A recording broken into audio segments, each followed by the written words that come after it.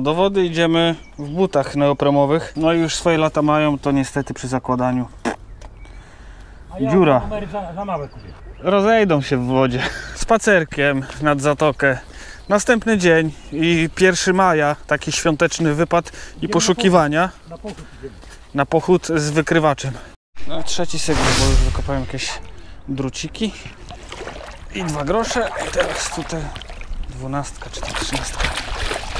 Być złotówa. A jest tylko zrywka. Tu jakieś robale wstępne. 15. I to jest grosik. Nic innego. 267 czyżby PRL? Lepiej by było srebro. Ale trochę, taki za duży jakby.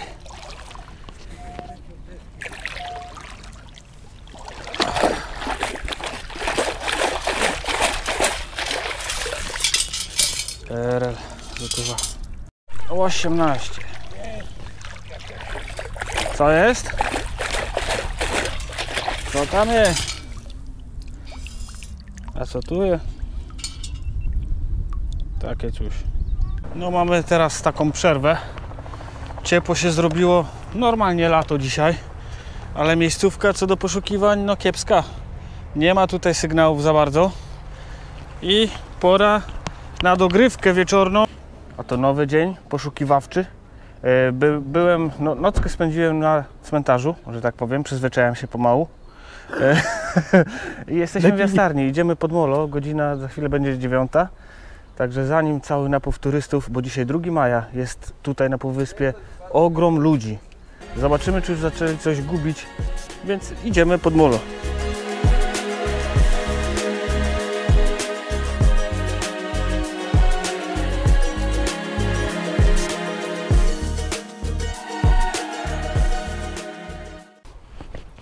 Pyk, pyk, pyk, pyk, pyk i jesteśmy. Ludzi na molo garstka. No i tak można się bawić. Nikt nie będzie przeszkadzał. Najgorsze jest jak ludzie wołają stojąc przy poręczy a czego pan szuka? Bursztynu? No, No, no, no. wiadomo, trzeba grzecznie odpowiadać.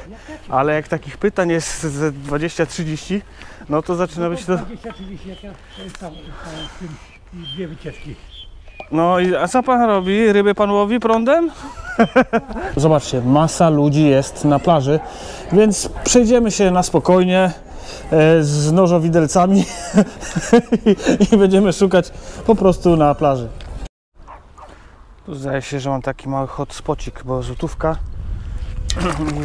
To jest e, kolejny sygnał 13 na kolejną złotówkę w tej samej dziurce. I to tak po takiej ciszy pierwsze sygnały. I chyba jeszcze 2 zł tam będzie. Będzie złotówka chyba. O kurde, o panie. 7, 8, tu już było 9 i tam dalej sygnały. O, ale mi się trafił. Komuś się sportek posypało. Ale potężny sygnał był. 15, może jeszcze 5 zł jakieś kurde leży. O, teraz nie nabrałem. Jeden albo dwa sygnały jeszcze w tej dziurze są. To ciekawa sprawa. Coś już wydobyłem, ale jeszcze tam z boku brzęczy. A to obok tej dziurki. Mm, tak, to jest obok. 16. To mogą być już jakieś groszówki. Wykopałem i chyba widzę piątaka. Zobaczcie. 5, 7, 9, 10, 10, 50 i tam no, dwie dychy prawie w jednej, w jednej dziurze. Tego jeszcze nie grali. No i to wszystko. Jak... Nie, jeszcze tu 2 złote. 19. Ja pierdolę.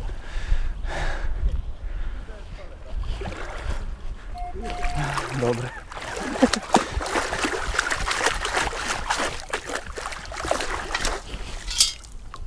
No.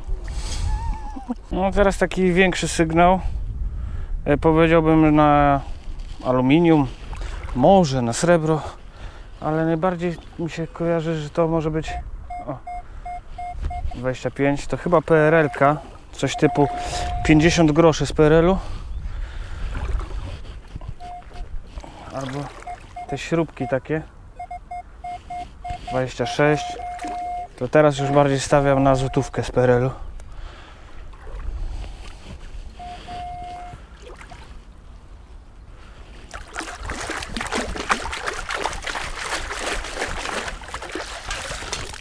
A to jest Polmus. Ciekawe, że tak wysoko. 18. Bardzo przyjemny. I już wykopany. Dwa złocisze. Znowu. Mam pierścionek. Miedziany niestety. Mieć, a nie mieć. O to jest Mieć, a nie mieć. Albo z tych takich automatów dla dzieci po 2 złote. Ale tak się poskrobie ten nalot, to tak całkiem, całkiem.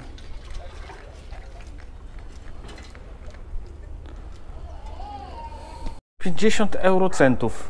Ile? 50 eurocentów.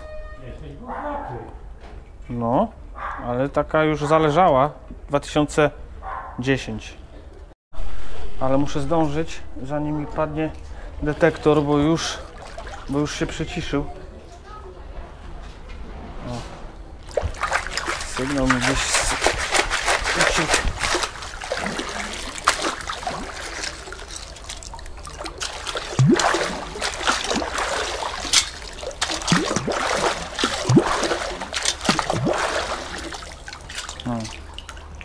To złamany kluczyk. I teraz mam takie przebijające między 16, 19, ale tutaj jakieś nabieram dziwne rzeczy. O, to jest po prostu duży kamień. O, i to był ten sygnał, o którym mówiłem. 18. O, takie kombo to się nie spodziewałem. I jeszcze kapsel. Także no, nawet dwa kapsle. E, po prostu re rekwizyty majówkowe. Bardzo dużo rekwizytów majówkowych. Dwie małpy i dwie kap dwa kapsle. Przerwa techniczna. Muszę wrócić do samochodu, żeby podłączyć 800, bo się rozładowała. Mógłbym wziąć Xterrę i wrócić, ale najprawdopodobniej pojadę po prostu teraz do domu, zapakować się, co miałem zabrać na majówę, tam na grilla i tak dalej. No i wtedy wracam do jastarni, no i szukam dalej. Jest zgnity? Gdzie jest zgnity? Nigdzie. O, dołu nikt nie widzi. I to już jest godzina 15. Idziemy na poszukiwanie, druga część. Jest Gosia. Proszę się przywitać. Dzień dobry. Dzień dobry. Gosia robi porządki, a my idziemy do wody szukać. Senior już poszedł. Ja tutaj wystawiłem graty do ładowania i w tej chwili jakieś 100 watów daje.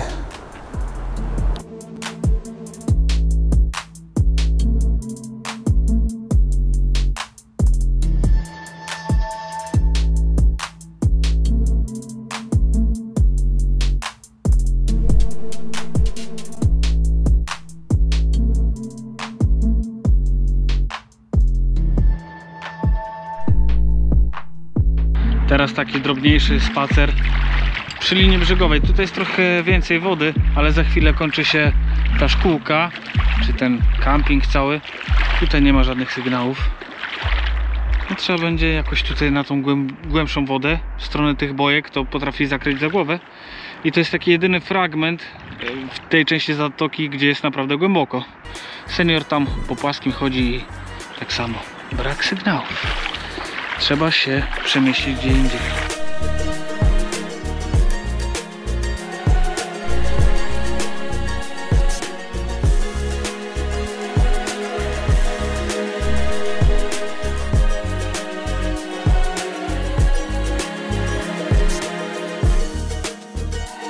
A to jest już nowy dzień, poranek, teraz będzie śniadanko.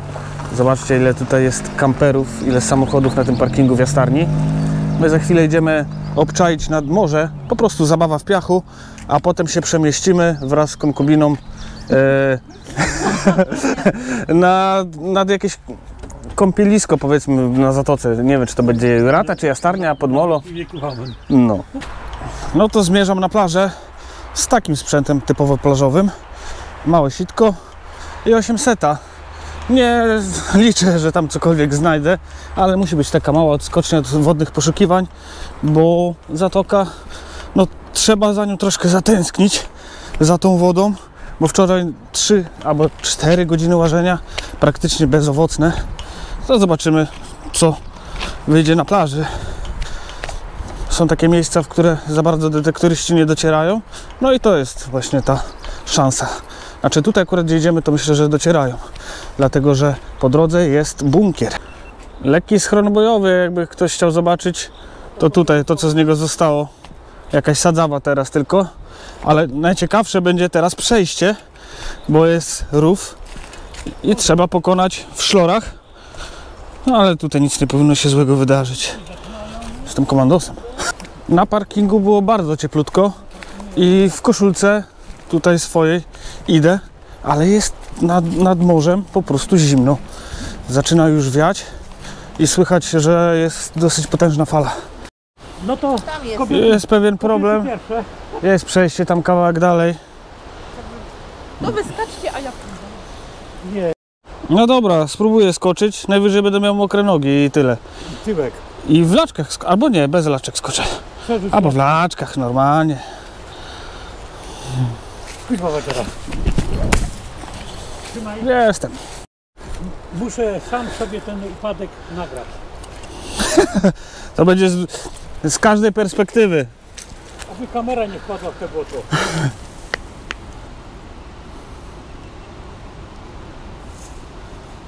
No bo bierzemy rozkręt, panie. Udało się. No, ale trzeba przyznać, że tutaj w jastarni, bo to jest właściwie przed jastarnią, zejście numer 40, no jest tak bardziej bajkowo. Widać, że mniej wydreptane przez turystów. Tam w oddali widać kolejny bunkier, czy tam schron. O, Stena Line płynie. A my sobie tutaj będziemy szukać prawa część albo lewa w stronę bunkra zestaw małego poszukiwacza plażowego. Tyle, że cisza, fantów nie ma. Słucham? No, krapki zostawiłem. O, ciekawe, czy tutaj uda się znaleźć cokolwiek. Już słyszę, że będzie ciężko. Właśnie chodzi o to, że nie słyszę, brak sygnałów. No i w pobliżu bunkra nie wiem, czy warto szukać, się naciąć na jakieś nie wybuchy, jakieś łuski i tak dalej. Ale wejdę, zobaczę do środka, jak wygląda. O dziwo, jest głośny szum, ale wiatru nie odczuwam pra praktycznie wcale.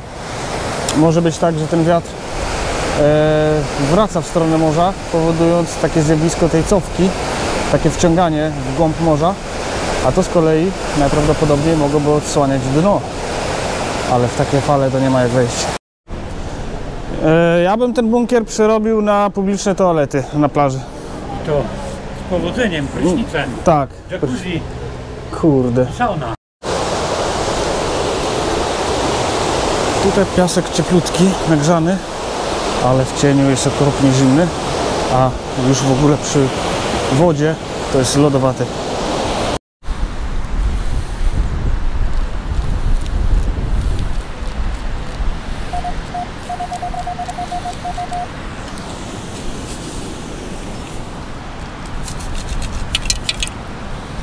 Jakiś korek. Tu mam jakiś sygnał 12, pewnie kapsel. Tak, dokładnie. Ale co wam powiem, to sitko byłoby fajne, gdyby nie ta rączka. Ta rączka powinna być w ten, w ten sposób, żeby ją łapać, bo tak to praktycznie po trzech razach wysiada nadgarstek. Beznadziejne. Ta rączka powinna być do góry. I wtedy tylko tym ruchem pukać. Jakieś loty widokowe. śmigłowiec sobie leci.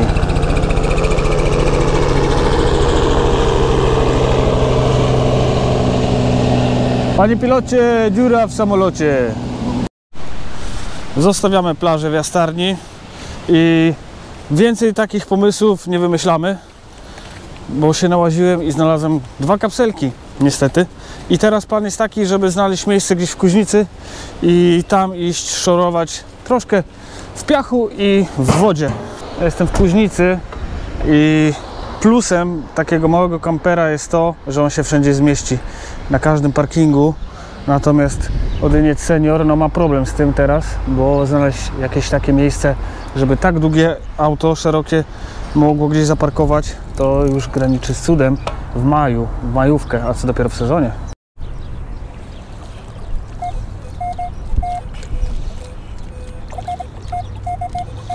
To jakiś kapsel pewnie, taki śmieciowy sygnał. 23 i już wykopany nawet. A jakiś taki inny bzdet.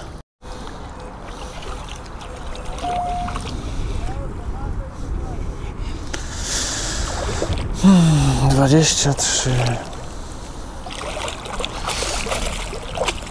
To musiało być to.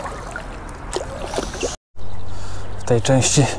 Zatoki Nonice muszę obejść chyba tą marinę jakoś. I tam z drugiej strony może będzie ciekawiej. Tylko czy ja tutaj dam radę wejść? Chyba nie, dookoła muszę. I tam chcę iść pobrodzić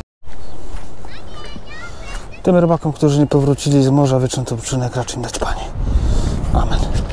Dźwig do rozładunku to jest pewnie głęboko to nie będę szukał ale jest takie małe molo, mini molo, no pomoc, no. No to tam sobie połażę. Chyba tam jeszcze jest, tak. Tam jest takie molo. I tam połażę. Wzdłuż terenu przystani. I dojdę tam gdzieś, chyba tak. No wypadałoby cokolwiek znaleźć, bo już robi się straszna posłucha. Robię się też głodny. A tu takie zapachy jak w sezonie no najprawdopodobniej dzisiaj wiedzie jakiś fast. Tak, i o to miejsce mi chodziło. Jest to zejście z lewej części, jakby kuźnicy i tam jest pomościk. No to tutaj od terenu przystani, od tej prawej ściany, no będę się kierował w lewo. Mam trochę do przejścia.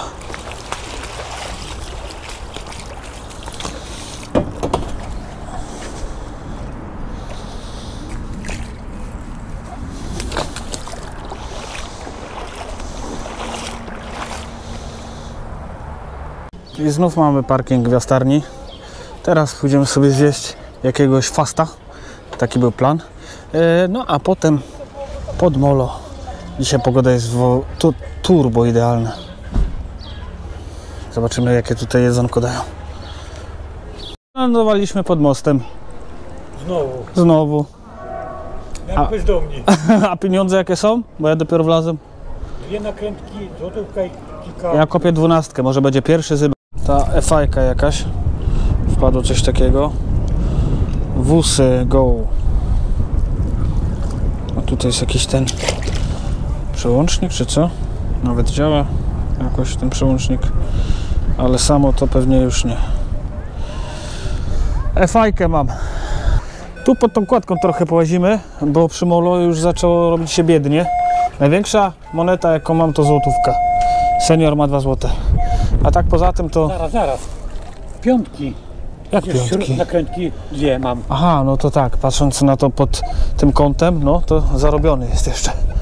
Idziemy dookoła całego molo. Jest dwójeczka. Tu pod mostem już naprawdę słabo, dlatego plan jest taki, że wychodzimy, regenerujemy siły i wieczorem, bo zobaczcie, masa ludzi jest na plaży, więc przejdziemy się na spokojnie z nożowidelcami i, będziemy szukać po prostu na plaży. Na molo to przynajmniej jest ciepło, ale wiary pełno. Mogliby bardziej skakać, to by zaczęło spadać tam na dół.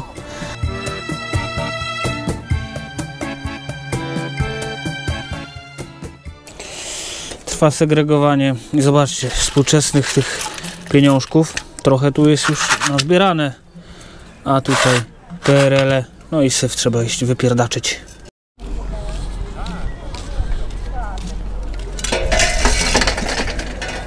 Tak to wygląda. Jeśli chodzi o drobnicę, to jest tutaj 107 zł, ale jeszcze niepoliczone e, w tej tutaj skrzyneczce są takie 20-10 groszówki i takie tam inne tego typu.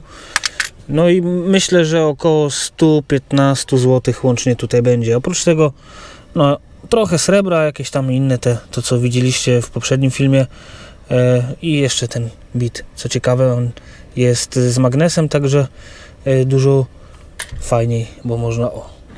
A ten wieczorny fragment poszukiwań zaczęło się fajnie. 19.30 i od razu wpada 2 zł. Chwilę potem kolejne. Ja sobie tak szukam dalej, aż do zachodu słońca. W międzyczasie podziwiam jeszcze, jak prezentuje się zatoka.